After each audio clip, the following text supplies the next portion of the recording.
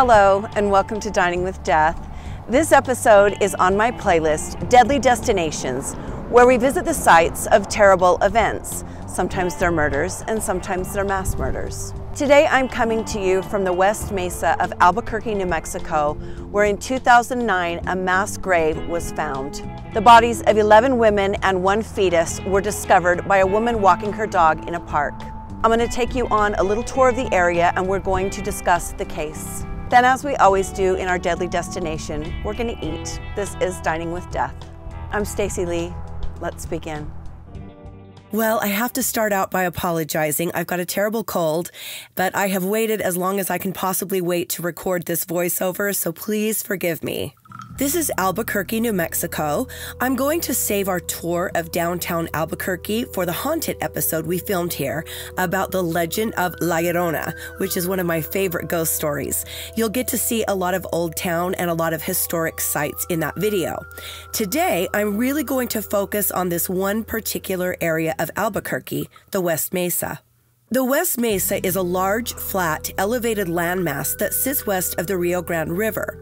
It stretches from South Albuquerque northward to Bernalillo. It's the easternmost extent of the Colorado Plateau. There are lots of petroglyphs in the West Mesa area, and part of it belongs to Petroglyph National Monument. For millions of years, the West Mesa sat desolate, home to nothing but wildlife and cactus and the occasional human traveler. But in the last 20 years, it has has exploded with growth and development. There are now more than 20 subdivisions on the West Mesa, thousands of homes, and enough students to fill four high schools in that area alone. In Albuquerque, there is a street called East Central Avenue, and it's a known corridor for prostitution and drug sales. The people that frequent East Central live tough lives, and it is not uncommon for people to go missing in that area. But in the early 2000s, the problem became much more significant. Before long, it was very apparent someone was taking and killing working girls in Albuquerque. But who? And where were they taking them to? On May 11, 2003, Monica Candelaria went missing after being last seen near Atrisco and Central. Police searched for her but did not find her, and soon her case was cold. In October of that same year, 2003, Doreen Marquez was last seen dropping her child off at school. She was never seen again. Early in 2004, Victoria Chavez disappeared from her mother's house, but no one reported her missing for a year. February 15, 2004, Veronica Romero went missing after seeing her family for Valentine's Day. In April of 2004, Jamie Barela and her cousin, Evelyn Salazar, went to a park near San Mateo. The two girls left a family gathering to go meet some friends at the park. Both girls vanished and were never seen again. May of 2004, Syllannia Edwards, only 15 years old, was last seen working in a high prostitution area near East Colfax in Aurora, Colorado, and it's assumed she ran away to Albuquerque. In June of 2004, Virginia Cloven called her father and told him that she was moving in with her new boyfriend. No one ever saw her again. Virginia was reported missing four months after she disappeared. In July of 2004, Cinnamon Elks vanished after being arrested and detained. A month later, Julie Nieto disappeared. September 22, 2004, 21 year old Michelle Valdez sees her mother for the last time. She is not reported missing until February the following year. With each missing woman, it becomes more and more apparent that something is very, very wrong in Albuquerque. The police decide to begin looking into the disappearances as though they are linked. And in August of 2005, they create a flyer like this for each woman who has vanished. Then, on December 17, 2006, something major happens. This is Lorenzo Montoya. He had a long arrest history that included several instances of him hiring undercover police women disguised as prostitutes. He was also known to be violent. On the night of December 17th, Lorenzo hired an escort to come to his trailer. When she didn't return to her boyfriend, he went looking for her. The boyfriend went to the trailer and immediately knew something wasn't right. As he got closer, he saw her. There was his girlfriend, bound by the wrists and ankles with duct tape, wrapped in plastic wrap, and partially covered with a blanket, laying outside of Lorenzo's trailer. Lorenzo was in the process of moving her body. The boyfriend was armed and he shot and killed Lorenzo Montoya. There are people who strongly believe that Lorenzo Montoya is the serial killer known as the West Mesa Bone Collector. There are those who do not believe he is the right suspect, and no case has ever formally been made because obviously he's dead. But officers say that even if he weren't, there probably wouldn't be enough evidence to charge him in the murders. For years, no one knew what happened to the 11 missing women. No one had any way of knowing that they were laying in the dirt on the outskirts of Albuquerque in an undeveloped part of town under the big New Mexico skies on the West Mesa. As their bones lay on the desert floor, construction continued, and soon what was once a very desolate and far outlying area was becoming part of the city. On February 9, 2009, a woman named Christine Ross was walking her dog Ruka out on the West Mesa.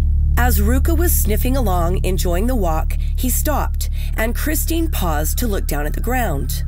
There lay, clearly visible, a human femur. Christine immediately called the police, who arrived and cordoned off the area. They then began to excavate. Word quickly spread to the media and then the public. Later that same day, a woman named April Gillen called the police and told them that she had been holding onto a secret that she couldn't keep any longer. April had long suspected that her ex husband, this man named Joseph Blea, to be the West Mesa bone collector. April said her husband was violent, and she knew that he used the West Mesa as a dumping site for his landscaping business. She suspected dirt and trees and gravel weren't all he was dumping out there. On the day the femur was found, the police worked through the afternoon and very shortly began finding more bones. Then they found an entire skeleton intact. At this point, they were quite sure they knew where all the missing women had gone. Investigators continued to excavate and they continued to find them, body after body, skeleton after skeleton. They were standing on the dumping site of a serial killer. Just one day after the discovery of the femur, the first identification was made. On February 10, 2009, Victoria Chavez was identified using her dental records. Over the next few days and then weeks, the other bodies were given names. With the exception of runaway Syllannia Edwards, who was black, the victims were Hispanic. Tragically, Michelle Valdez was four months pregnant at the time of her murder. Her bones were found with the forming bones of her fetus. With the discovery of the bodies and with all of the murdered identified, the investigation went into high gear. Police had a lot of work to do now that they had verified each of their missing women was, in fact, a homicide victim. They spent months retracing their steps, talking to their friends and family members, and piecing together their last days. Of course, they were also investigating suspects. On June 11, 2009, the police executed a search warrant here at suspect Joseph Blea's house. They seized all of his computers, his financial records, and all of his landscaping equipment. What the public didn't know at the time is that found with one of the bodies was the tag off of a tree, like a new tree that you would purchase at the nursery for landscaping. Now, we already know that Joseph Blea would use the West Mesa for dumping his landscaping debris, so that tag could have come from that. But police wanted to see if they could tie the tree directly to Joseph Blea and then begin to build a case against him. The next day, the police informed the public that all 11 deaths had been ruled homicide, but manner of death could not be determined in nine of the 11 cases because the bodies were too decomposed. In October of 2009, the police execute a second search warrant on Joseph Blea's house. This time, they find a stash of women's underwear and jewelry. They also searched his jail cell. Joseph Blea was found guilty of four sexual assaults, totally unrelated to the West Mesa Boneyard, so he was already locked up. Police also found rope and duct tape on the passenger seat of his vehicle. A year goes by, and police announce they have a third suspect. He is a Missouri man named Ron Irwin. Ron traveled frequently to Albuquerque for business. After a search warrant is executed, investigators discover that Irwin was not in Albuquerque during many of the times the women disappeared and were killed. Police then hold a press conference and inform the public that Joseph Blea has been tied to more sexual assaults dating clear back to the 1980s. So now the two official suspects are Lorenzo Montoya, who is dead, and Joseph Blea, who's already in prison. Despite having two suspects and all of the bodies identified, the case then goes cold. The police are frustrated, the public is frustrated, but there is simply nowhere else to turn. In November of 2014, the lead detective on the case retires and a new one is assigned to the case. Joseph Blea is tried and convicted, and although that's another case, he will never get out of prison. But we still need to know who is the West Mesa bone collector?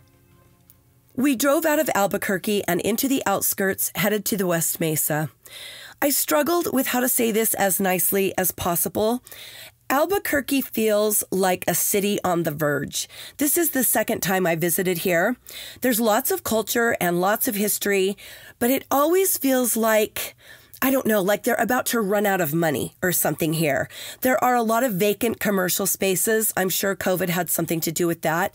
And unlike a lot of cities this size, the parks and the overpasses, the medians in the street, they're just not as manicured as you might expect. The crime rate is also very high here. The flip side, there are very luxurious areas, beautiful areas, and of course, the fabulous hot air balloon festival that happens here each year. We didn't have time to drive by the Breaking Bad house and get yelled at by the lady who lives there. yeah, that's a whole thing. Look it up on TikTok. The people here are very, very nice. Great people who work hard and take a lot of pride in their homes and businesses. And it's my understanding that a new tech wave is coming to Albuquerque. So hopefully that will be an influx of cash. A lot of people really like it here, and I think if you can afford to live in the nicer areas, it would be a nice place. It almost feels like there are lines, visible lines in the city. It's very much a city of the haves and the have nots. You've kind of seen what I'm talking about here in the Women's Memorial Park. The city designated this location as a park to remember the victims. It feels kind of half done as we walk through it. My husband and I were guessing at what this area here would become. He said there would definitely be steel poles going down into each of these prepared slots, and he was correct. Just recently, these beautiful leaf structures were added to the memorial. Isn't this nice? And here's something very cool. On the date of the memorial, each year, the sun will shine directly onto the center and onto this inscription. I think that's beautiful. As the park matures and the trees grow, I think this will become a really nice place to sit and remember these women. As you walk the path around the perimeter of the park, you come to marker after marker, each engraved with the name of the victim it represents. People leave flowers and stuffed animals and notes. We were the only people here on the day we visited. Mesas, plateaus, they're usually windy places because they're elevated, and this location is no exception. As I walked the path and thought about these women, I could hear in my mind the wheels of the killer's truck on the dirt. I imagined him stepping out of the vehicle and slamming the car door, and I heard the sounds of him dragging these poor women to where he dumped them. It was eerie. This is an eerie place. I was actually very surprised at the neighborhood just across the street. I don't know why it surprised me to learn that there were people living right here, but it did. I'm sure things feel very different past the neighborhood wall, but this place, it feels very eerie, sad, and mournful. They've placed a beautiful monument stone at the opening of the park, and there's a special inscription for the unborn child. There are a lot of benches to sit and enjoy the solitude of the park, and that made me happy. It's nice to know that the family members and friends of the victims, or just those who want to remember the women, can come sit here and spend time. This is just a really sad story, and you feel that sadness and the heaviness when you're here. The great loss of life is tragic, and it's exacerbated by the fact that there has been no justice for these victims.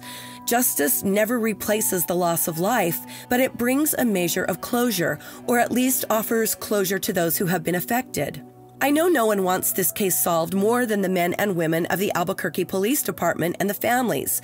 And I'm sure it's very frustrating for them to have information, to have suspects, and to be unable to close the case.